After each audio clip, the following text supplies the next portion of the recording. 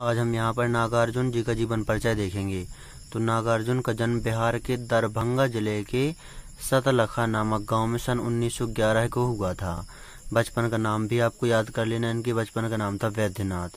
यदि आपको गद्य साहित्य और पद्य साहित्य के लेखक परिचय और कवि परिचय के 30 से अधिक वीडियो देखना है, हमने 30 से अधिक वीडियो बनाए हुए हैं और इसी चैनल पर डाले हुए हैं।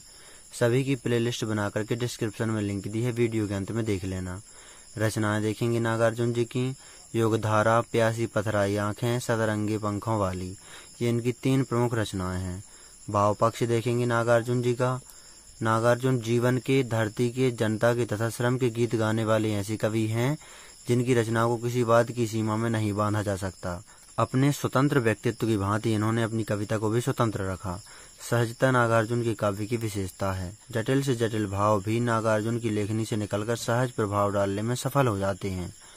ये है इनका भाव पक्ष अब हम यहाँ पर कला पक्ष देखेंगे। स्वाधीन भारत की कसमसाती भारतीय जनता विशेषता किसान जीवन की पीड़ाओं को नागार्जुन ने अपनी कविता की विषय वस्तु बनाया है। उनकी काव्य भाषा में एक किसान की साफ़ गोई और निर्मम खरापन है।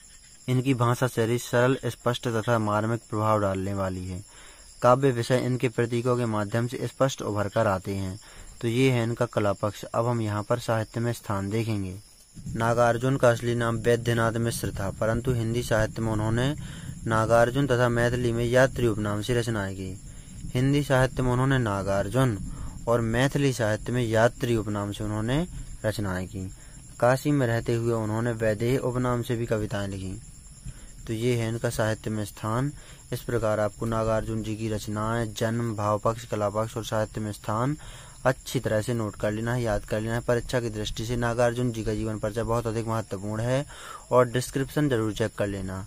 तीस से अधिक जीवन परिचय की वीडियो देखने के लिए हमने प्लेलिस्ट बना करके लिंक दी है तो आप देख लीजिए।